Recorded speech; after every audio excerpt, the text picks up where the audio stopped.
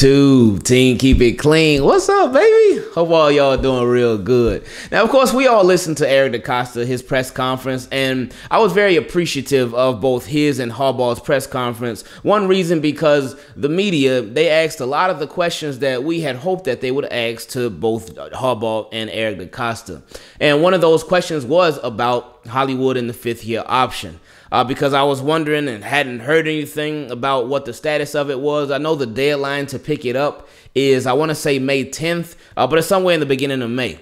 Um, but we just hadn't heard anything about it whatsoever. But Eric DeCosta did let us know that they do plan on picking up Hollywood Brown's fifth year option. Now, the value of that fifth year option is a little under $13 million.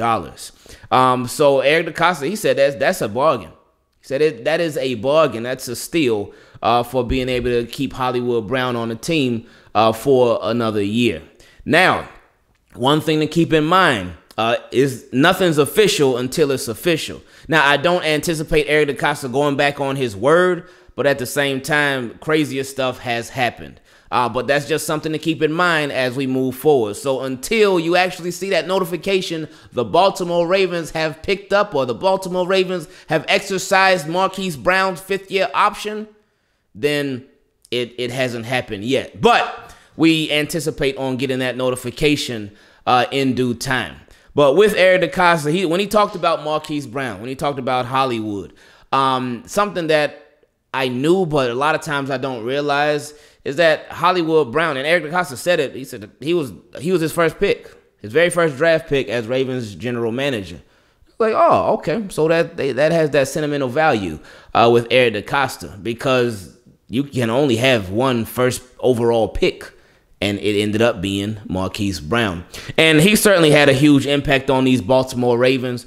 Uh, Eric DeCosta talked about how he liked his he loved his talent, his personality, loved his energy and he said for his skill set and, for what he brings to the table, that that fifth year option, he said it looks like a bargain. Um, and when we look at Hollywood's skill set, we know Hollywood is a uh, a big play guy, a deep threat guy. He can do the underneath stuff as well. Um, now he did. Eric DeCosta did mention that he feels like Hollywood has not played his best football yet, and I think we would all agree. And obviously, Hollywood, his, his biggest issue, the biggest thing with him uh, has been the untimely drops. And of, of course, like there's no drop that I think really is timely, but it's been the untimely situational drops. Um, that has been the thing that has just held him back from really going to that next level. Cause you see, he knows how to run the routes. You see, he is he was open a lot. Like he was open a whole lot. Um, and so you see you see that potential there.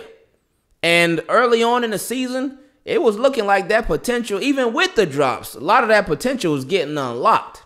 And like I, always said it, ever since 2019, because that was Hollywood's rookie year, it's like you, you saw him throughout the regular season in 2019. He made some big plays, made some splash plays, and that was cool. But then in the playoffs, in that playoff game, that dude showed out. And that's what he's done in the playoffs in the playoffs, he he just turns into a different animal. And my goal, my, my hope for the Baltimore Ravens, and it's still my hope. And early on, it seemed like it was going that way. But of course, things change. But my hope for the Baltimore Ravens is that in the regular season, they use Hollywood Brown like they use him in the playoffs. Because if they did that, that little thousand yards, that wouldn't be nothing. That wouldn't be nothing. And he was on a trajectory to easily pass getting a thousand yards. That yeah, there's nothing.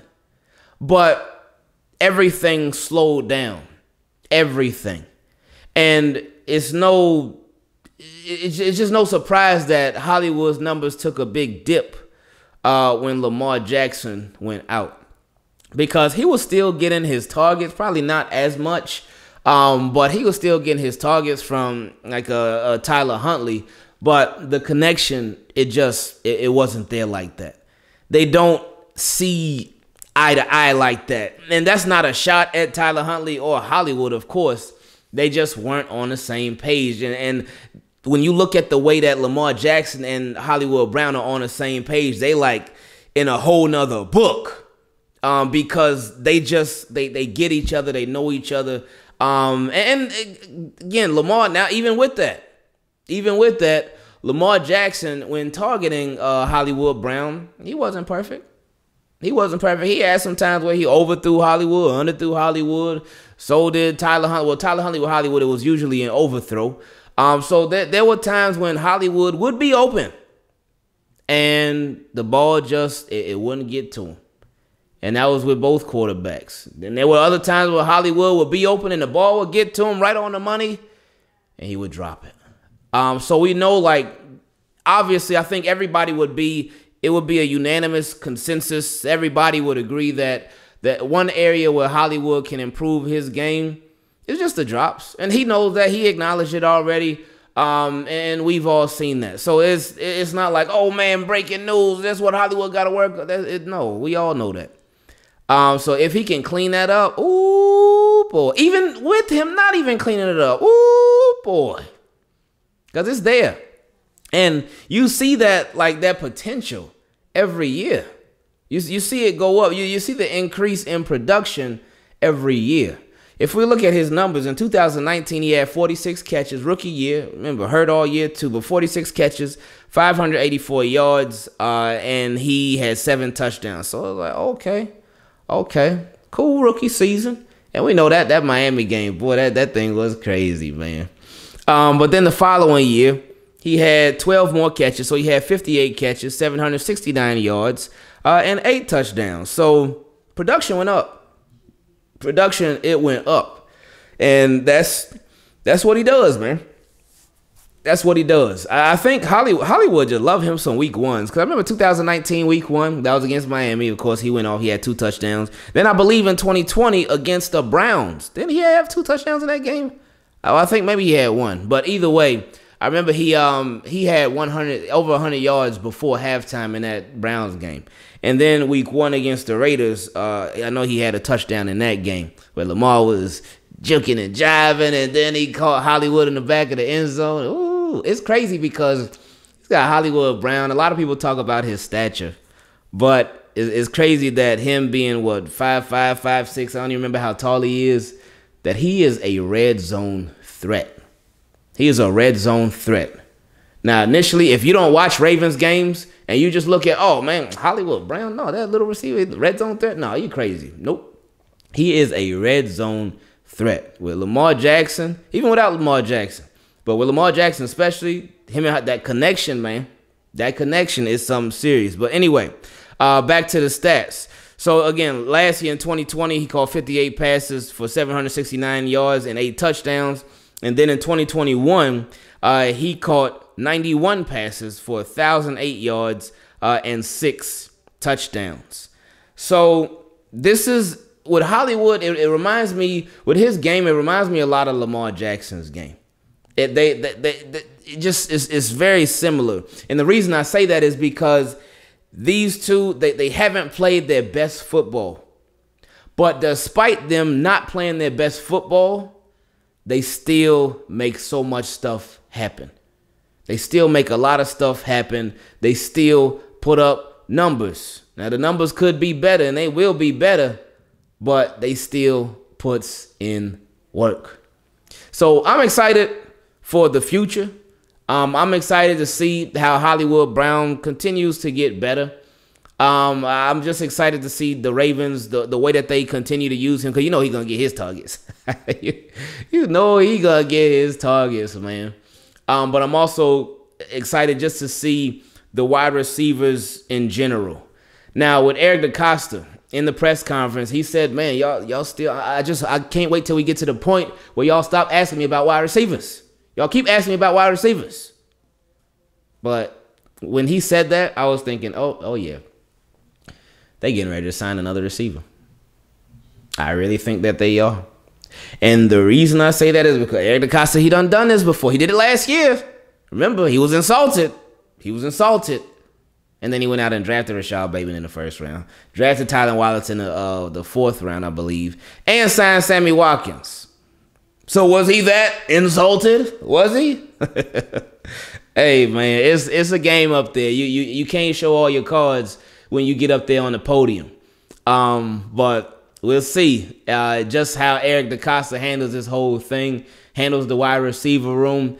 Um, and the thing, one thing that I um I'm appreciating a little bit more, they still got some work to do when it comes to the, their wide receivers.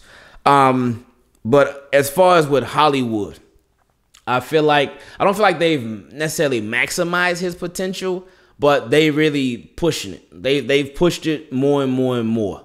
Um, because one thing that I, I always feel bad for Ravens wide receivers is that with so many of them that have come through the building, they have never got to see their potential.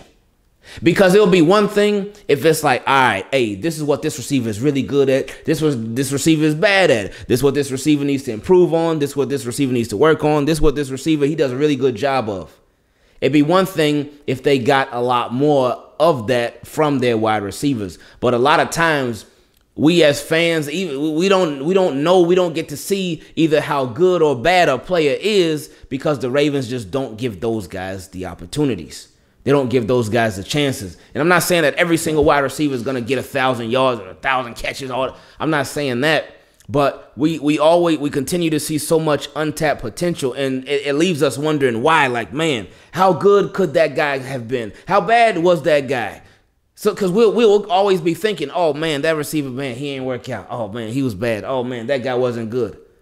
But did that guy even get a fair shot? Did that guy even get an opportunity? And it seems as if with Eric DeCosta, he's trying to sort of change uh, what Ozzie Newsome did. And again, it's not a shot at Ozzie Newsome, but Eric DeCosta seems to want to do things a bit differently, especially when it comes to the wide receivers.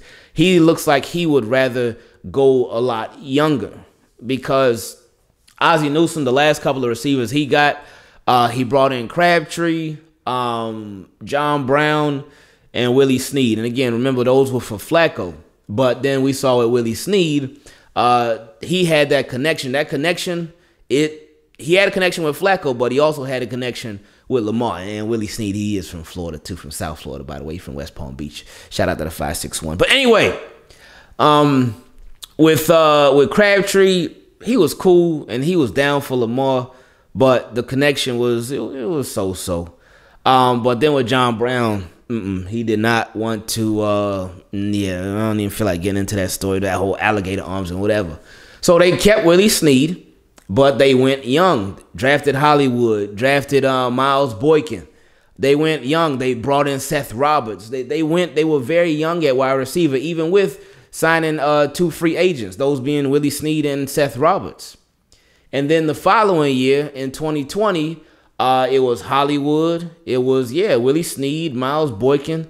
So and then they drafted the Duvernay and Proche. So they kept it pretty young again.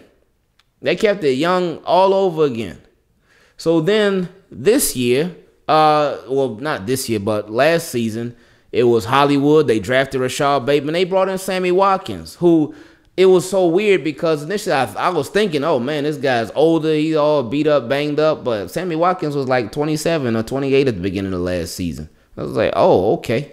Now he was banged up because it was another season where he missed a, quite a few games and quite amount of time, and it seemed as if when he got healthy, he was never even really healthy.